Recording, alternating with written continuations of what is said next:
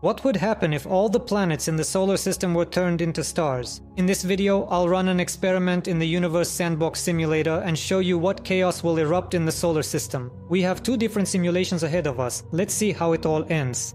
And in the first simulation, I turned all the main planets, including the dwarf planet Pluto, into stars. And now you can see this situation in the solar system. The simulation is currently paused. But before I start it, I'll show you what kind of stars we ended up with. Mercury, you see it as it normally is now, but I just want to show you how to turn it into a star. I decided to make it a red dwarf and just set the minimum mass for a red dwarf, which is 0.08 solar masses. And so it became like this, it started to grow. I've sped up time a lot and I'm starting the simulation. And watch as Mercury turns into a star, a full-fledged red dwarf. Its temperature is already 2700 degrees and it's still rising. And in the end, Mercury's temperature is 2860 degrees Celsius. Now you can see Venus. I'll set the view settings to informative mode so it's not so hard on the eyes and we can get a better look at the surface. So this is Venus, the second planet from the Sun. Its mass is 0.25 solar masses. Now you see Earth, our home planet, its mass is 0.3 solar masses. And Mars, often called the red planet, its mass is 0.15 solar masses. Here you can see the habitable zone of these stars, it's much smaller than the Sun's. But I simply made the inner planets of the solar system into red dwarfs. Here is the star Jupiter. Jupiter's mass is approximately 1.2 solar masses. In comparison, here is Saturn, and its mass is 0.9 solar masses. And here you can see the habitable zone of Jupiter and the habitable zone of Saturn. I made Saturn and Jupiter into yellow dwarfs, the same as the Sun. And Uranus looks like this, its mass is 0.6 solar masses. And Neptune's mass is 0.65 solar masses. If you look at the habitable zones of Uranus and Neptune, they are much smaller than even those of Saturn, Jupiter and the Sun itself. Jupiter has the largest habitable zone here. I made Uranus and Neptune into orange dwarfs. And now for Pluto, I'll show you how I turned it into a star. I want to make Pluto a brown dwarf. To do this, I'll set its mass to 55 Jupiter masses. Oh, right away we have a gas giant. But it's a gas giant that's starting to heat up.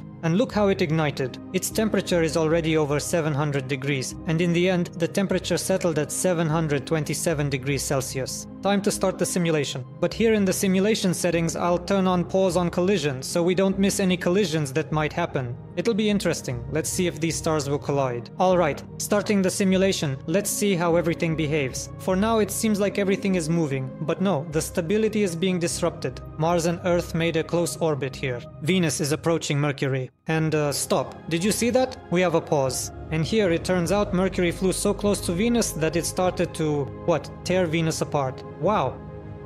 I'll show you all this in more detail. Starting the simulation. Did Mercury turn into a gas giant? Wow, no way. And what is this? It says fragment? Is this not even Venus? If I speed up time even more, what will happen to this fragment? It's cooling down. Basically, a huge chunk of rock will be left, with a size of almost 4 Earths. Incredible. Yes, wow. And Mercury really suffered. It's a gas giant, and the temperature is 558 degrees. And yes, it lost a lot of mass. Only 44 Jupiter masses are left, so it will just become a brown dwarf. Let's keep watching. Maybe we'll find something else interesting. Something is happening near Jupiter. Mars has settled into an orbit around it, and some object is rotating there. It's Vesta. Look, Vesta is in Jupiter's orbit. And Earth was approaching, but Jupiter is the most massive star in the system with 1.2 solar masses, so it can pull everything in, of course. And where is the Sun? The Sun is moving over here. Nothing is happening to it. I'll speed up time again. Whoa, the simulator stopped time again, which means a collision happened somewhere. I'm looking for it. Here it is, I found it. I take it this is a fragment from Jupiter. It got hit again, although its mass is 190 solar masses. Wow, and Earth as we can see has a mass of 2.14 Jupiter masses, so in solar masses that's very little. Earth will turn into a rocky object after it cools down. I'll speed up time now. Oh, look how it's wobbling, it hit poor Earth. And with time accelerated, yes, of course, this thing will cool down. But we'll have to wait a long time for it to cool. I think we'll miss something interesting while we sit here. As you can see, Earth is rapidly flying out of the solar system. What interesting things will happen next? Well, the Sun is approaching Neptune. They've parted peacefully for now. If I zoom out, I can see that Mars is already leaving this solar system. And a little earlier, Mercury also flew away, there's Mercury. And way over there, Earth has flown away. Okay, I see two stars here, orbiting closely around each other. Here, Uranus and Saturn are orbiting each other. It seems the situation here is stable for now. So what's left here at this point? Well, Basically, not much is left at all. Most likely, Saturn and Uranus will have some interesting interactions with each other. And that's really about it for now. Oh my, just look at that. Saturn and Uranus are moving in a rather funny and unusual way, of course. The Sun and Neptune. Oh, look how Neptune has settled in. Neptune is now orbiting with Saturn, and Uranus has been thrown off. In short, this is crazy. I'm waiting for an interesting moment. Maybe there will be a supernova explosion. Well, we'll see. Anyway, so I think that's it for this system. In the end, Saturn and Neptune are flying off in one direction, and the Sun and Uranus are flying in another. And the remaining objects in the system, the dwarf planets and asteroids, are also simply flying off to different corners of the universe. Some of these asteroids may have settled into the orbit of some star. Well, in general, that's the picture with this simulation. And now for the second part of this experiment. In this situation, even the dwarf planets will become stars, and it will be even more interesting. And Jupiter and Saturn will be subgiants. This time I made the rocky planets into yellow dwarfs, and here you see Mercury. Mercury's mass is 0.8 solar masses. Venus's mass is 1.10 solar masses. Earth's mass is 1.20 solar masses. And in the background we see the subgiant Jupiter. In general, if we spin around Earth like this, we can also see the second subgiant Saturn. From this side you can see Venus. Here we have Uranus, it's quite interesting. You'll see later. Here's Mercury, here's the Sun, Ceres, and here's Sedna. Sedna is also a star by the way. And Mars has a mass of 0.9 solar masses. Now you see Ceres, the dwarf planet. I turned it into a red dwarf. Its mass is 0.11 solar masses. Now you see Jupiter. I want to show you the process of turning Jupiter into a star. And one interesting point, this point by the way is related to its rotation period, a little less than 10 hours. My Jupiter will be a subgiant, so its mass will be somewhere around 3 solar masses. To start I'll set it to 1 solar mass. It has dimmed, you can't see anything at all. And now I'll make it 3 solar masses. Now I'll lock the ability for the mass to change and make the radius as much as 15 solar radii. Oi oi oi. And now look what's happening to Jupiter.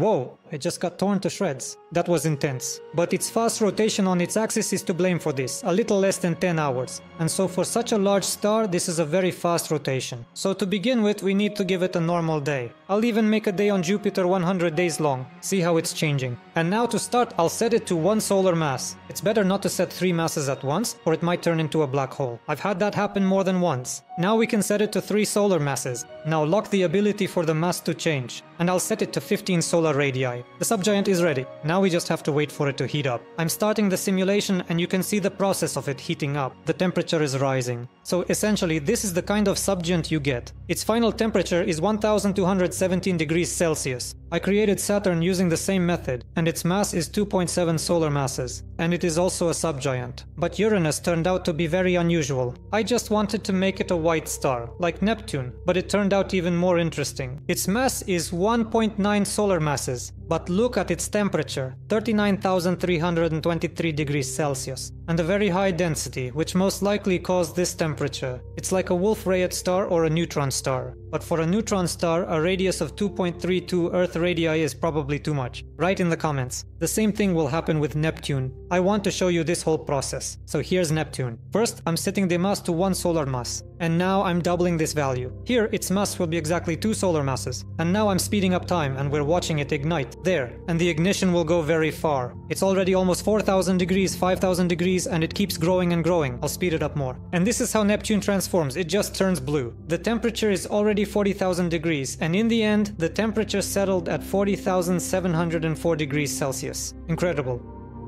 If we look at the habitable zones of these stars, here's Uranus, here's Neptune, that's their habitable zone. It's not that big despite the huge temperature. But Saturn and Jupiter have a pretty large habitable zone. Well, this is a mix of habitable zones, there are many stars inside the system. And I turned the dwarf planets here into red dwarf stars, and their habitable zone is so tiny that you can't even see it from here. Here's the red dwarf Pluto, its mass is 0.28 of the Sun's mass. Haumea has a mass of 0.21 of the Sun's mass. Here's Eris. It's the most massive of the dwarf planets here and has a mass of 0.3 of the The sun's mass. And I also decided to turn Sedna into a star and gave it a mass of 0.08 of the Sun's mass. I'm turning on pause on collision again, and so I'm starting the simulation. Let's see what happens here. Well, I think it will be more interesting because there are more stars now. Whoa, and right away something is happening again. Here we have the Sun. As you can see, it's been squeezed a little from the poles, stretched out, and there's some kind of fragment, a fragment of what is unclear. I didn't have time to see what collided there. A fragment with a mass of 2975 solar masses. What? What is that? And it cooled down.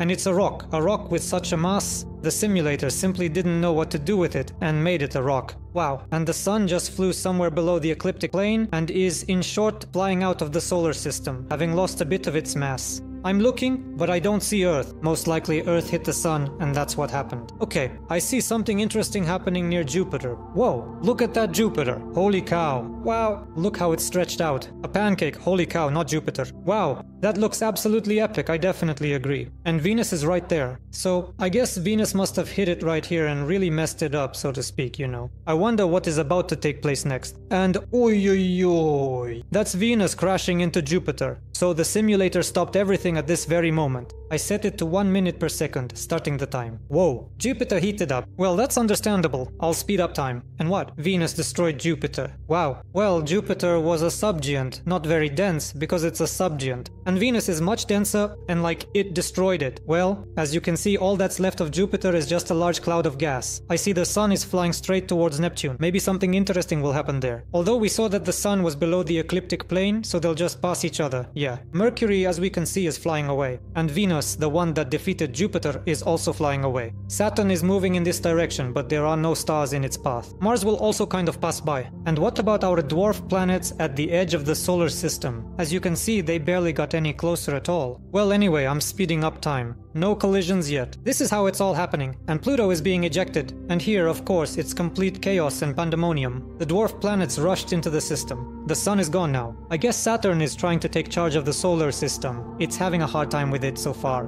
But for now it's holding Neptune and Uranus in their orbits and a few dwarf planet stars. Well, that's what I'll call them. Red dwarfs, basically. Well, there are no supernovas, unfortunately. If we zoom out, we can see that many objects have flown away. Well, I guess everything has settled down now. We have a triple star system where Uranus orbits the farthest away from them. Here, as you can see, Neptune and Saturn are orbiting and their orbit is stable. And there are no other objects in orbit around them at all.